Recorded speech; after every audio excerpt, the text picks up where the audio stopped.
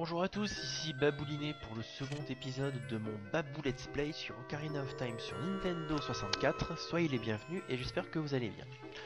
Donc on se retrouve exactement au même endroit que la dernière fois, c'est-à-dire devant l'entrée de l'arbre Mojo, prêt à en découdre avec les monstres qui nous attendent. C'est parti Et donc voilà, donc notre premier donjon, donc on remarque qu'évidemment il y a des grosses toiles de Nope là-haut.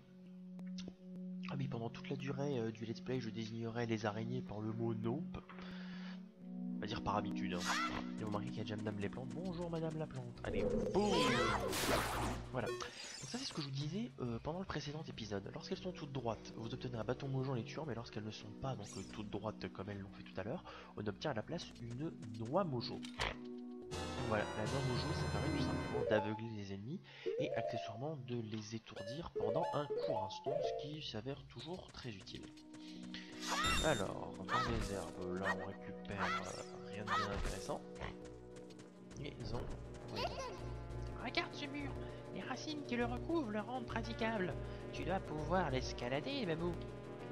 Si tu m'avais pas interrompu, c'est un peu ce que j'aurais fait. Hein. Je t'en veux pas, c'est juste que t'as un temps de retard. Bref. Hmm, donc voilà. On peut donc monter soit par le truc en liane, soit par l'échelle que vous voyez là sur le sur la vue subjective.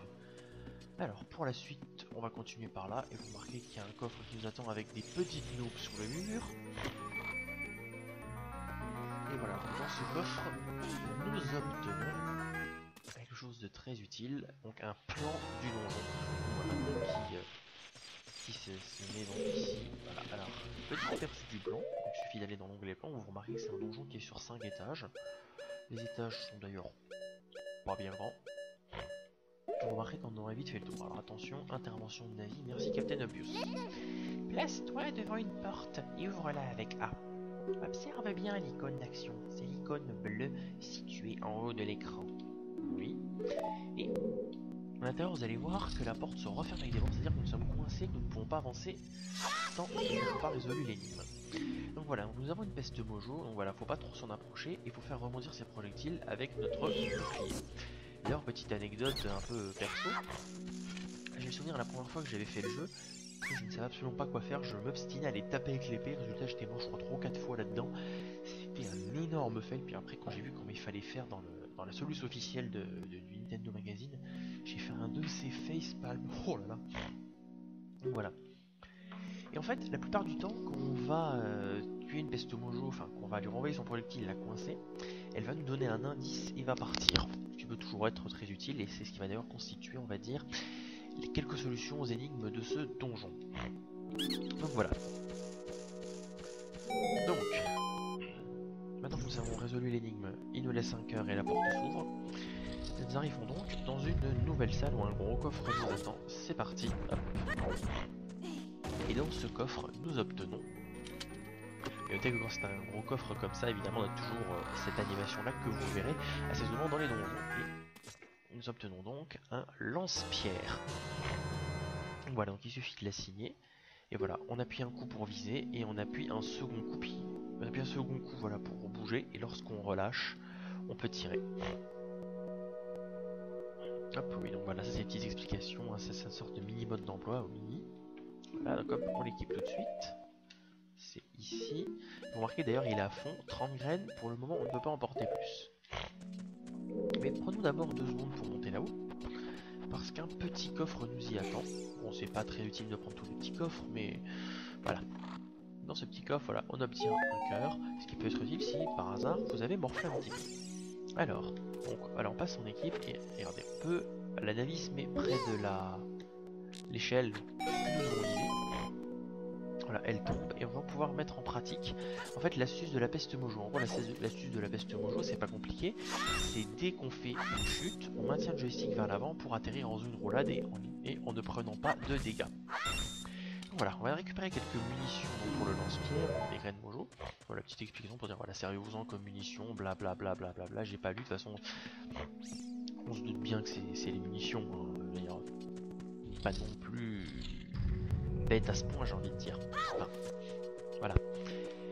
Donc maintenant qu'on a le lance-pierre, on va pouvoir aller sur ce mur qui est plein de nopes. Alors je vais essayer, voir si j'ai toujours ce petit niveau au tir au lance-pierre. De et de deux, et deux, allez un peu plus à gauche, un petit peu plus bas tiens. 3, voilà. En fait il faut savoir que ces petites nopes qui sont sur les murs, elles vous... euh, en fait, elles, elles vous foncent dessus si vous leur passez à côté. Il y a de fortes chances que si elles nous foncent dessus, ben, on tombe du mur et qu'on doive tout recommencer. C'est pour ça qu'il nous fallait le lance-pierre pour passer, pour tout simplement déblayer le passage avant de pouvoir envisager de passer. Donc voilà, maintenant on arrive au troisième étage. Et allez, on va donc voilà se mettre au-dessus du, sol pour atterrir. Donc évidemment on peut descendre en, lâchant, enfin, en lâchant la barre avec A. Donc on a des grosses nopes qui vont tomber, mais pour l'instant on va pas s'en occuper. On va juste aller chercher en fait la salle qui est juste devant nous. C'est quelque chose à y, chercher. Bonjour Madame la Nope. Voilà, vous remarquez d'ailleurs que la salle en fait se ferme à clé. Alors, vous pouvez remarquer déjà en plus qu'il y a une grosse nope au passage. Voilà. En plus, voilà, on est en temps limité. Et en fait, on va aller chercher le gros coffre qui est situé là-bas. Alors, on va d'abord récupérer un bâton en tapant Madame la plante. Merci Madame la plante. Hop. Quelques graines mojo, merci bien. Et dans ce coffre, vous allez obtenir le troisième et dernier item important du donjon. Notez, on a la carte, on n'a juste pas de quoi se repérer dans l'espace. Et voici, nous avons donc la boussole qui va donc nous révéler l'emplacement des objets cachés. Vous voyez par exemple qu'un coffre vient d'apparaître sur la carte du donjon. D'ailleurs, voilà, si je vous montre le plan, vous remarquez qu'en fait, il n'y a plus qu'un seul coffre à récupérer après celui-là. Donc j'ai envie de dire qu'on a déjà pratiquement fait le tour. hein. C'est un donjon extrêmement court que ce premier donjon dans l'arbre Mojo. Alors, là vous entendez un petit bruit derrière. C'est le bruit spécifique de ce que je vais appeler les nopes dorées. Je vais vous montrer de quoi il s'agit. On réactive la plateforme parce que ça on peut pas y aller. Remarquez déjà qu'il y a une grosse nope qui nous bloque le passage. Eh, madame la grosse nope, tu me laisses passer. Voilà.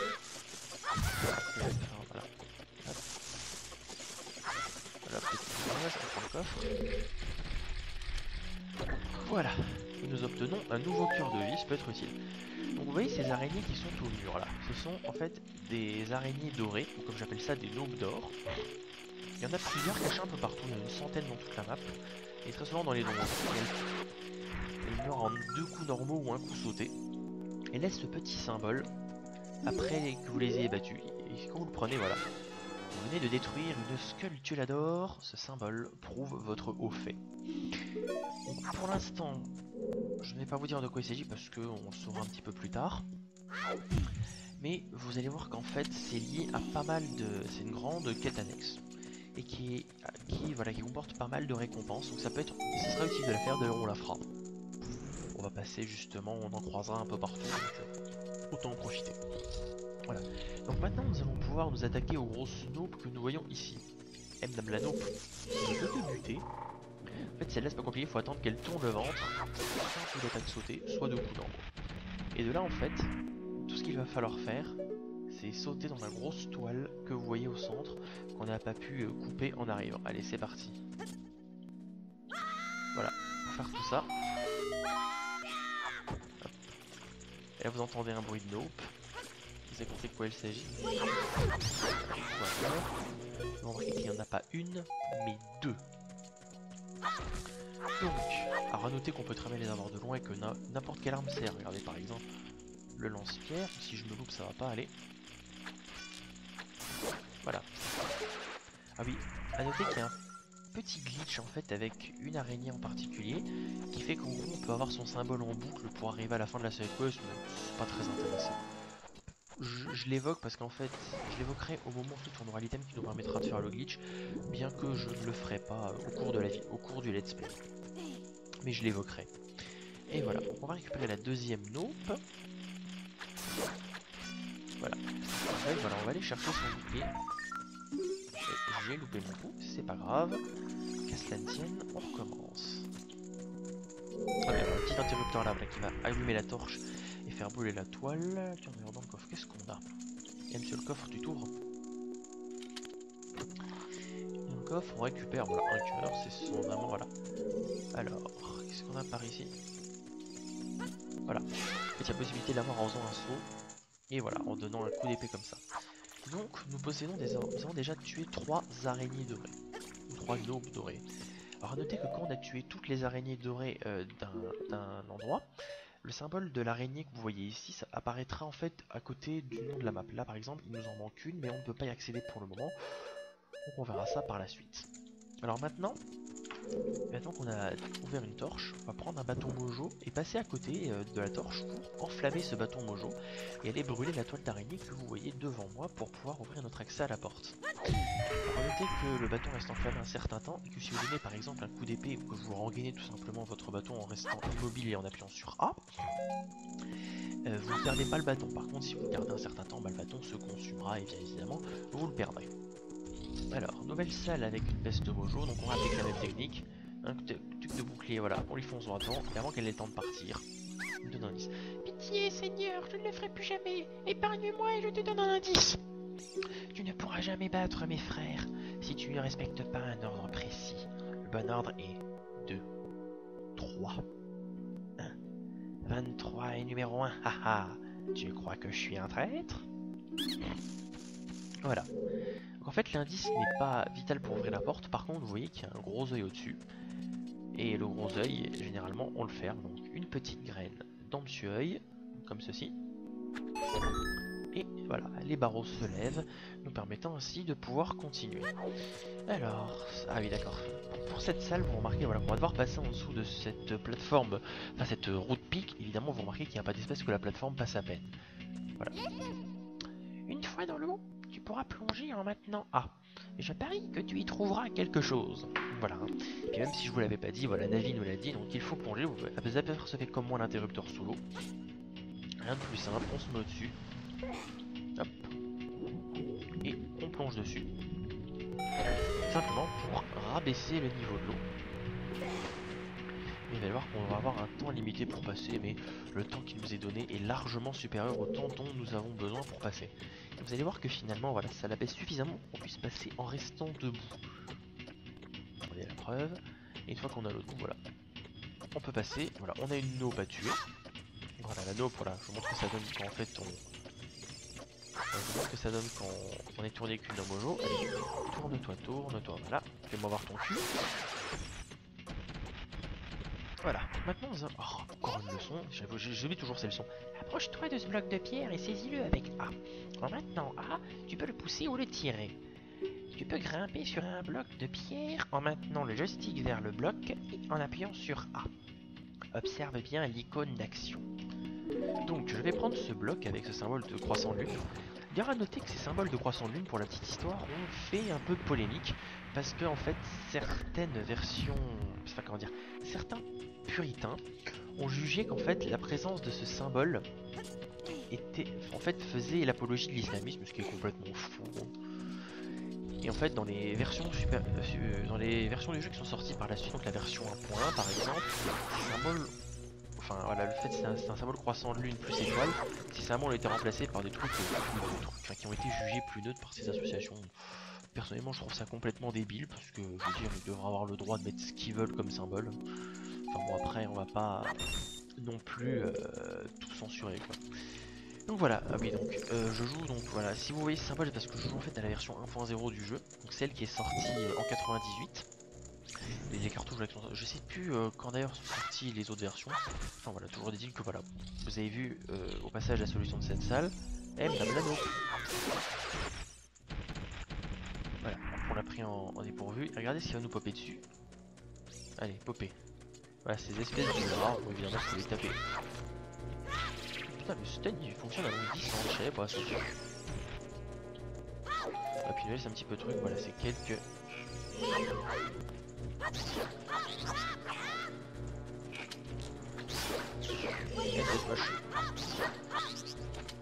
Voilà.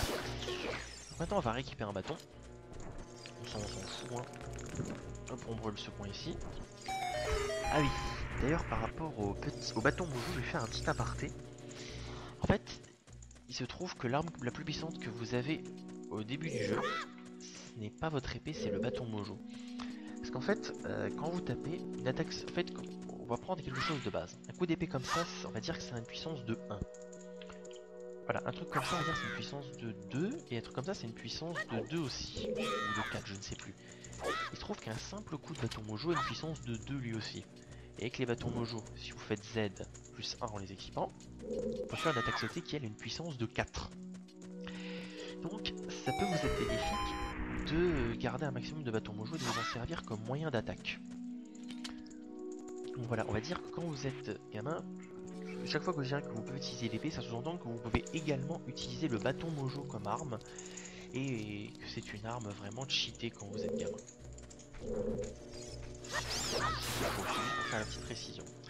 Et vous remarquez que voilà, on arrive dans une salle qui nous est déjà connue et de l'autre côté avec un bloc, un bloc que nous avons poussé.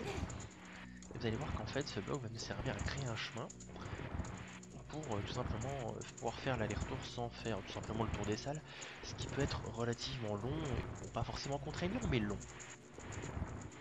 Voilà. maintenant on va passer, vous allez voir pourquoi. Pour allumer donc cette torche avec un bâton mojo, hop, on passe par ici, et vous apercevez comme moi la toile d'araignée au sol, un coup de bâton mojo et c'est gagné. Un bâton de moisin, et voilà. Nous allons pouvoir plonger ici et arriver devant la porte du boss et vont marquer 3 pestes mojo. Si vous vous souvenez de l'indice de la précédente, voilà 2, 3 puis 1. Donc commençons par cette seconde peste mojo ici, qui va devenir violette. La troisième, donc celle de droite. On les renvoie. Et maintenant, on va faire notre truc de la peste mojo sur la première. Donc on la renvoie, on se met à côté et voilà. Qui t'a donné notre secret Hmm, Ça me rend dingue Je suis tellement pétard que je vais te rédire le point faible de Goma, notre reine. Pour lui administrer le coup de grâce, frappe son œil avec ton épée après l'avoir étourdi. Oh ma reine, ma petite reine. Je ne suis qu'un traître. Et voilà. Nous avons donc résolu l'énigme des pestes mojo. On a les 5 heures et nous pouvons désormais entrer affronter le boss, donc Goma, la, reine. Donc, il suffit de rentrer là-dedans. Voilà, on a un petit panorama de la salle pour nous montrer un petit peu ce qui nous attend. Enfin, pas forcément, pas le boss, hein, évidemment.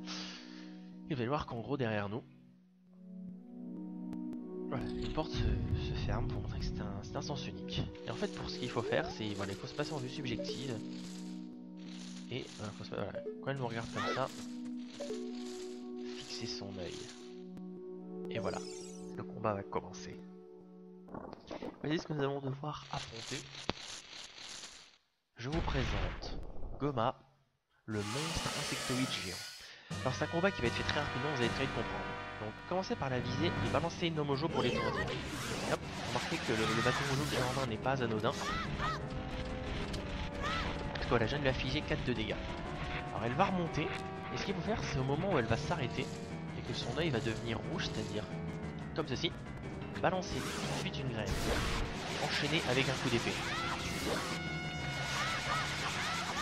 Et voilà. Elle est morte.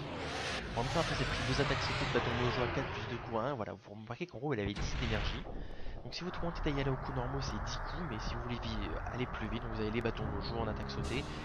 Les coups normaux, voilà, il faut une petite dizaine de coups pour mourir, mais si vous restez à côté et que vous spammez B, ça marche aussi, c'est juste un tout petit peu plus long. Et donc voilà.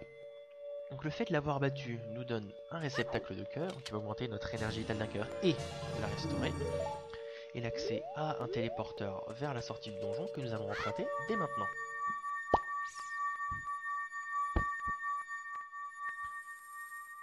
Et voilà, donc nous ressortons désormais euh, devant Monsieur l'Arbre Mojo, qui nous attend, je pense, j'ose espérer, pour nous féliciter. Félicitations, Babou. Qu'est-ce que je vous disais Et maintenant, voilà, petit plan sur lui, musique dramatique, parce qu'il va désormais nous parler. Et d'ailleurs, ça va être un speech plutôt long. Tu as fait preuve de courage et de sagesse. Tu te révèles digne de mon estime et de ma confiance. J'ai encore bien des choses à te dire. Veux-tu bien les écouter? Pas évidemment. Maintenant, écoute-moi bien. Un vil cavalier du désert m'a infligé cette terrible et odieuse malédiction.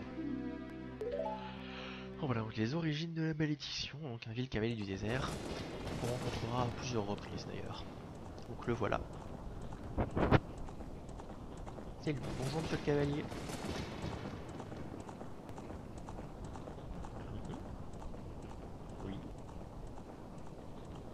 L'homme maléfique ne cesse de faire appel à ses sombres et vils pouvoirs pour trouver le saint royaume relié à Hyrule. Car dans le saint royaume sommeille la divine relique, la Triforce, renfermant des pouvoirs comparables à ceux des dieux. Donc voilà, elle nous explique le pourquoi du comment, et maintenant on va voir au pourquoi du comment de la Triforce, avant le début du temps, avant que vie et esprit n'existent. On met en place. Trois déesses d'or et de lumière descendirent sur la vague chaotique qu'allait devenir Hyrule. Jin, déesse de la force. Nairu ou Neru, déesse de la sagesse. Je veux pas savoir comment on prononce ce nom là d'ailleurs. Faror, déesse du courage. Et c'est encore.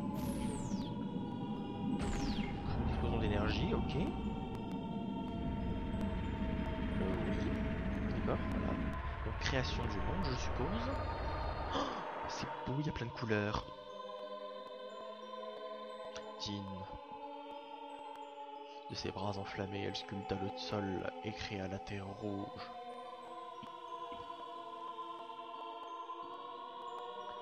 Neru. Elle inonda de sa sagesse la terre et apporta ordre et loi sur ce monde. Et elle a également fait briller le soleil.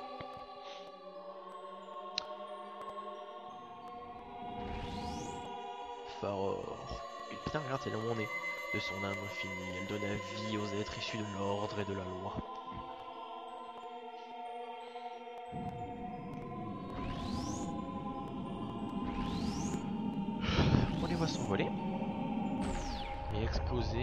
Faire un triangle sacré. Voilà.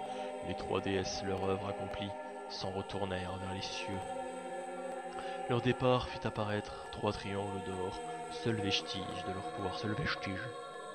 Depuis, les triangles sacrés symbolisent l'essence de notre création. Et depuis ce jour, le Saint Royaume est le berceau des triangles de justice. Ok. Donc voilà.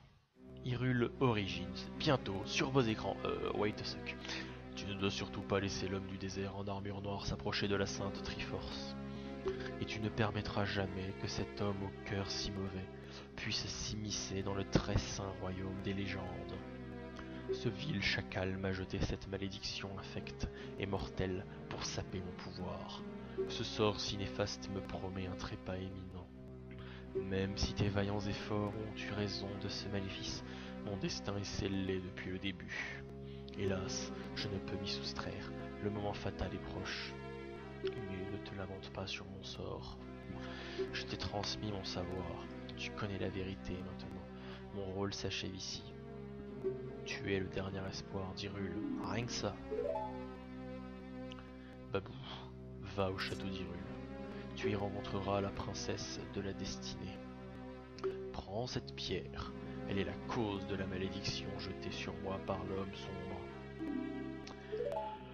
Donc voilà, ça va être la quête de Link en fond, donc récupérer les différentes pierres pour ben, justement pouvoir accomplir notre destinée. Donc nous venons d'obtenir la première, après évidemment un petit euh, truc machin recrub obtenu.poète 42. Nous affiches que c'est parce que là... voilà.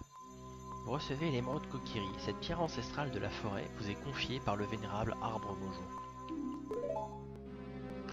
La destinée du monde dépend de tes actes, Babou. Tu es courageux et vaillant. Navi, belle petite fée, aide Babou dans sa quête. Je t'en prie, Navi,